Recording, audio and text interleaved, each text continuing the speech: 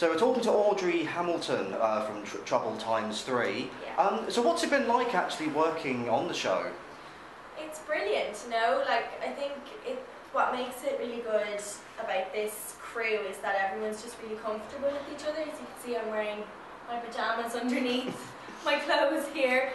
So um, no, everyone's just really like we're all friends at the end of the day. Like we all met on the set of the first episode. and We just got on really well, and I know it's fun. It's fun to play a character that's nothing like myself. I would hope to think not a ditzy American.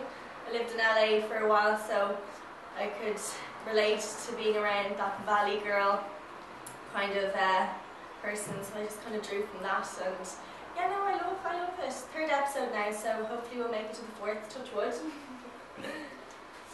And I understand there's been quite a few sort of late nights. Yeah, no, there are there few late nights. Not too bad. Like we haven't really been going into crazy hours. I think I was lucky this time round because I got wrapped at about half eight last night, but one of the other girls wasn't in until we're sharing a room, and she didn't rolled in at half one in the morning and woke me up.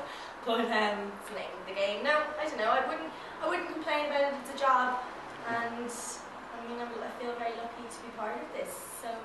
And I know now that you're in the process now of filming uh, episode three of the show. So so far, what's been your most memorable scene? Of Uh, this uh, episode or of, all of, the of all of all the episodes? of the Oh, series so most far. Memorable scene um, was probably the bedroom scene with uh, with Michelle, who plays Olivia. That was um, was probably because I wasn't feeling best that day. I ended up having the vomiting bug, so I kind of had to. I can't even remember filming episode two because I was so sick. I was like on God knows how many tablets and running to the bathroom after doing a, sh- a scene. But the bedroom scene was pretty tough as well because I wasn't feeling the greatest and I was in like very little clothes, very cold. And no, no, it was fun though. That would be the most memorable because yeah, I was in like a leopard. I don't know if you saw the episode. Did you? Yeah, I've, I've seen A that. leopard coat looked like a bit of a hooker, so wouldn't be my normal attire. So that would probably be the one that would stick out for me the most. I do like this script the best, I think, though. I'm having the most fun with this script. The library scenes were cool, actually, and the I know some of the shots are really, really good. So we're lucky to have a really good, talented team around us as well. The crew are fantastic. So yeah, no, it's looking good so far. So far, so good.